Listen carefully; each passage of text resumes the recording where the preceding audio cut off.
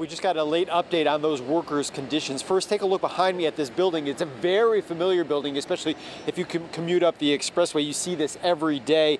Federal safety investigators tell me tonight that they will be looking into what happened here today. For more than two hours, steam poured out of the upper floors of this nine-story building near South Station. Now, this is a boiler facility. It provides steam for buildings all around downtown Boston. Boston firefighters say a pipe burst in the basement here, trapping two workers down there. Now, they were rescued and taken to the hospital with what were described as non life threatening injuries. With steam, there's steam burns, and while you, you you can see burns externally easily enough, steam always brings with it the concern of inhalation injury, so they'll have to be evaluated for inhalation injury as well. This plant is 90 years old. It's owned by a company called Vicinity Energy, and the company recently told the Boston Globe it would like to tear down this steam plant and redevelop this parcel and surrounding areas into a mixed use project.